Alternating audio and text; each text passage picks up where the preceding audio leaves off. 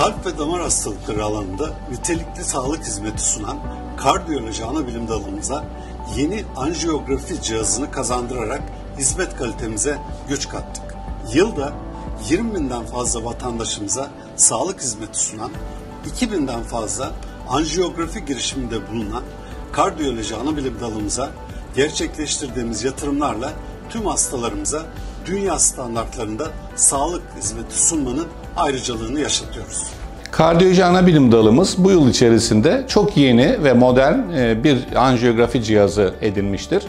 Bu yeni cihazla beraber hem enfarktüs hastalarına e, kalp kateterizasyonu, anjiyografi, elektrofizyoloji, periferik ve karotis damarları gibi girişimleri daha iyi, daha ayrıntılı olarak yapma imkanı bulduk. Hem de araştırma, geliştirme ve öğrencilerimizin eğitimine büyük katkıları olacaktır.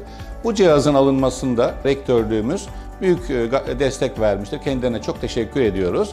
Akademik olarak e, kliniğimizi uluslararası bir arenada temsil ederek birincilik ödülü aldığımız bir yenilik olarak da radyal anjiyografinin yeni yöntemi olarak da enfi çukurundan anjiyografi yapma çalışmamız büyük bir e, ün kazanmış e, kazanmıştır. Rektörlüğümüzün de vermiş olduğu desteklerinden dolayı da e, teşekkür ve saygılarımı sunuyorum.